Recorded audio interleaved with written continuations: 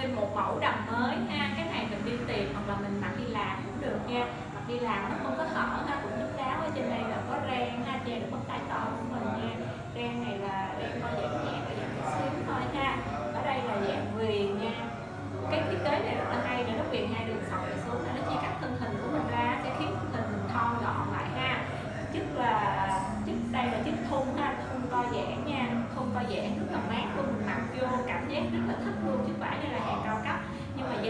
có 330 nghìn thôi nha. Các mình đang mặc là size à, 3x nè. Rất là rộng luôn. Các bạn mà 7 80 kg mặc căng lên sẽ rất là đẹp ha. Căng lên mặc sẽ đẹp hơn mình mặc nhiều nha. Cái à, hàng này hàng cao cấp nó thiết kế từ à, cái ni nè chiếc vải đường chỉ nè đều rất là tinh tế luôn nha. Cái cổ á, ở đây là bo ha. Nhưng mà co giãn nha rất là thoải mái luôn ha.